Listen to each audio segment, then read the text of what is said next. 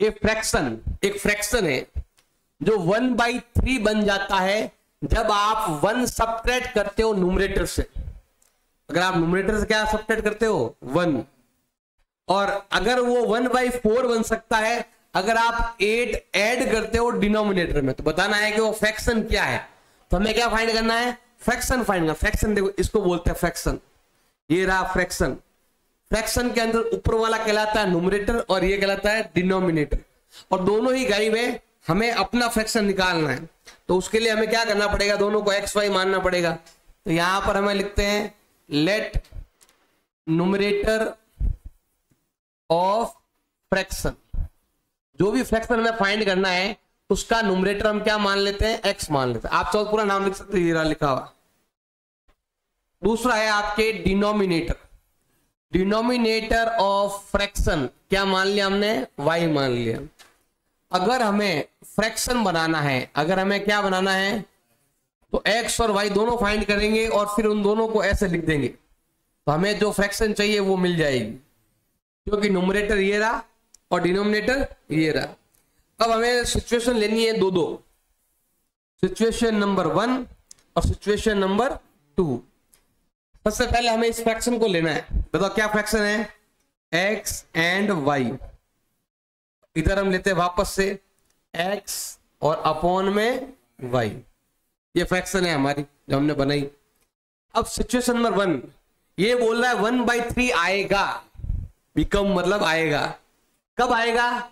जब आप one subtract करोगे न्यूमरेटर में से। आप न्यूमरेटर में से क्या माइनस करोगे? वन माइनस करोगे। तो आपको क्या मिलने वाला है?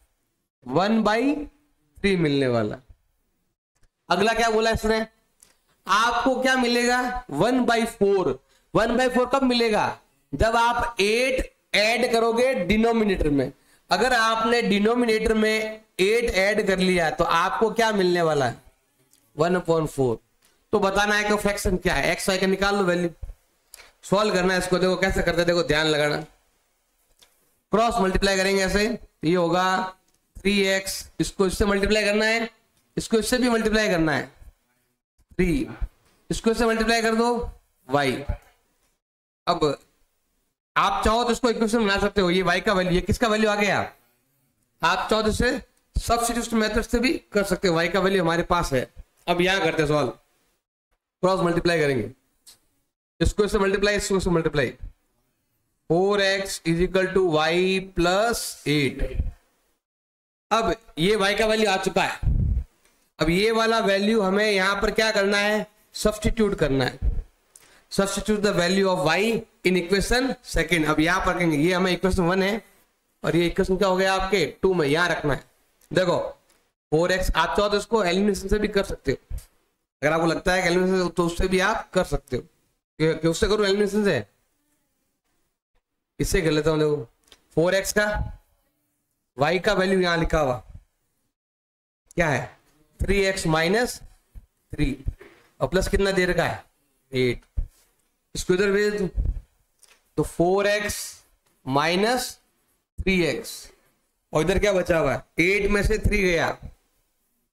फाइव घटाओ तो। एक्स का वैल्यू क्या मिला?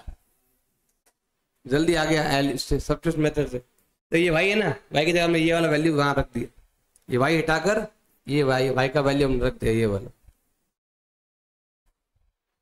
अब ये जो एक्स का वैल्यू आया ना यहाँ रखेंगे तो हमें वाई भी मिल जाएगा। तो यहाँ पर हम क्या लिखते हैं? Put the value of x in equation first क्या रखो। थ्री का थ्री एक्स का वैल्यू कितना आया? Five minus three is equal to y five three जा। Fifteen minus three equal y. तो वाई का वैल्यू क्या आया घटा दो। हमें एक्स भी मिल चुका है हमें वाई भी मिल चुका है। और हमें चाहिए अब फ्रैक्शन चाहिए। हमें क्या चाहिए? फ्रैक्शन कैसी होती है? X upon y. X upon y. आप चाहो तो चेक कर सकते हो कि जो आंसर राइट है। देखो ये रहा। यही नंबर है वो।